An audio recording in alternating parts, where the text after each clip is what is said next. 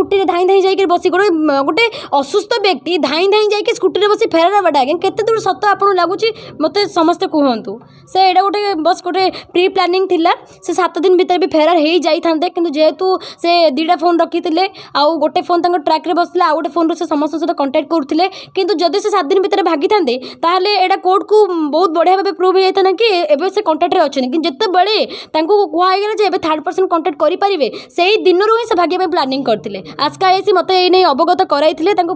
ଡକେଇ ବି ଥିଲେ ଏଠିକି ଯେହେତୁ ପୋଲିସ ପ୍ରୋଟେକ୍ସନ୍ ବହୁତ ଥିଲେ ତ ସେଦିନ ସେ ଯାଇପାରିନଥିଲେ ତା ପରଦିନ ତା ପରଦିନ ମୁଁ ତାଙ୍କୁ ଜଗିବା ସତ୍ତ୍ୱେ ଯେହେତୁ ଆସ୍କା ଆଇସି କହିଲେ ଯେ ନାଇଁ ଆମ ଉପରକୁ ଚାପ ପଡ଼ୁଛି